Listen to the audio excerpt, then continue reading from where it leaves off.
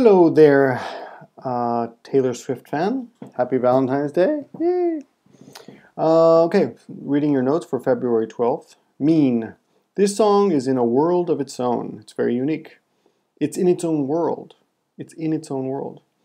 What do you think about when you sing that song? What do you think about when you exercise? What do you think about when you swim? What do you think about when you jog? What do you think about when you take a bath? Anything. Criticism is the noun of criticize.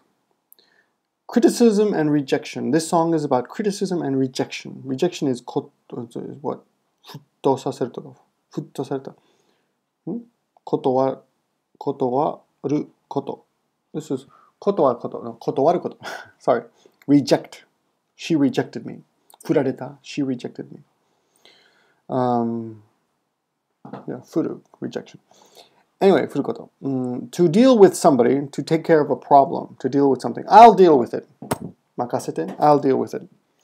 To think about how to evolve as an artist. Remember, evolve is the verb for shinkasuru.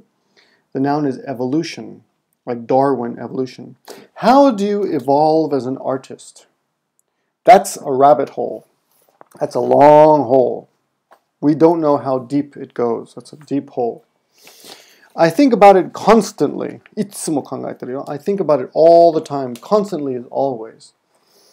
I'm constantly hungry. She's constantly complaining. That dog is constantly barking. They are picking on him. Tease, pick on, bully. Why do you have to be so mean? Why you gotta be so mean? That's from the song. Embarrass, embarrass, humiliate, much higher. Humiliation is the noun. She's saving money for college. She's saving money up for college. She's saving up for college. Someday I'll be living in a big old city. And you're and all you're ever gonna be is mean. All you're ever gonna be is mean. You're never gonna change. You're pathetic. This is the best bujoku kotoba. You're pathetic. Sayaku. Kachi You're worthless.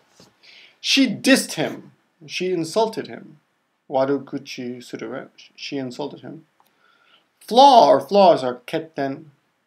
She pointed out my many flaws. She pointed out my many flaws. Okay, that's your lesson. Thank you very much, and I'll see you next Tuesday.